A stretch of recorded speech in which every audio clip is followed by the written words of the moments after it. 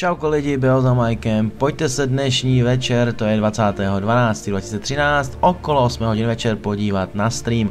Budu streamovat různé hry, trošičku se pobavíme, zasnějem, hlavně pokecáme, takže pokud nemáte jiné plány v pátek večer.